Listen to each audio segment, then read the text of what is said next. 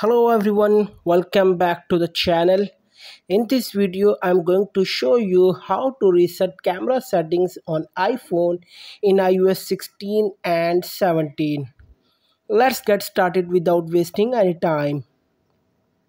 Guys doing the settings that i'm going to show you in this short video will reset all the camera settings of your iphone to default.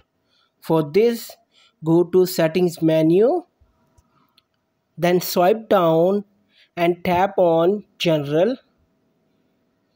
Now completely swipe down and tap on transfer or reset iphone.